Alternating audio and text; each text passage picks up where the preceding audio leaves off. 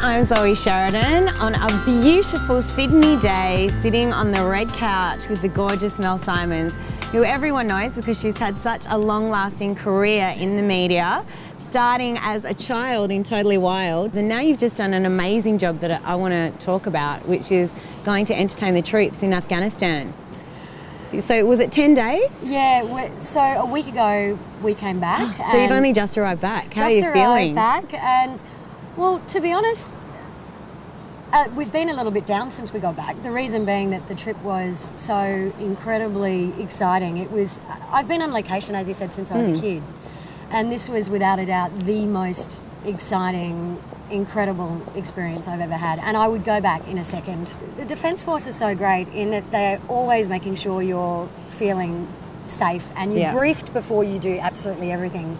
They wouldn't put us into a situation that was that was terribly dangerous, but you are in a dangerous country, and mm. so you're flying over dangerous ground, and they're in dusty, hot, arid conditions, and it's so. I mean, it really is so hot, and it's yeah. so dusty. It's it's you know, it gets up to 50 degrees at times. but you're not wearing a bikini in a sarong. No, no, you're wearing bulletproof vests, often wow. really heavy stuff, and and yeah, I just I can't believe the job they do. But also the other thing that really surprised me was even in the Hercules was going up to the cockpit and meeting the pilot and co-pilot who were kids.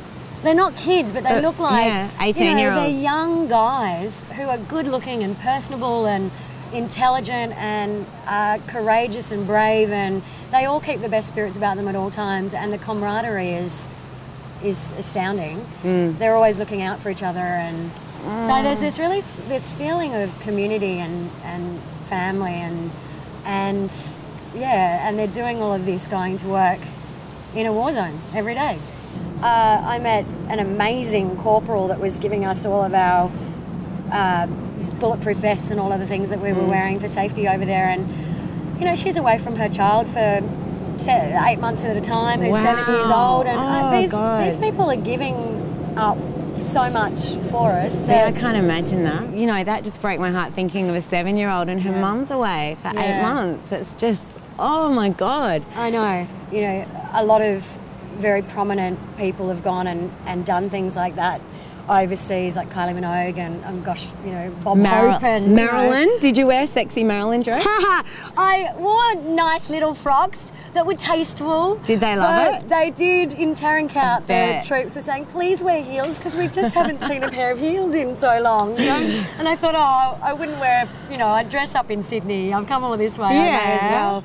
They were they were very respectful though, but there are obviously, you know, a, they're seeing everyone in uniform all the time and it's just it's a piece of home but it's so true and it gives you a bigger perspective. You realize the things that really do matter so it's a really good reminder of that. So thank you for reminding us. Thank you so of what reminds us and it's good to be back in safe locations.